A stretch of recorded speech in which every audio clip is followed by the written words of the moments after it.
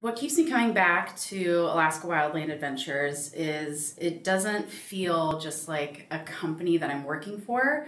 Um, there's it's so much more than that. It feels like um, there's an enthusiasm for our natural environment. There's compassion for our coworkers.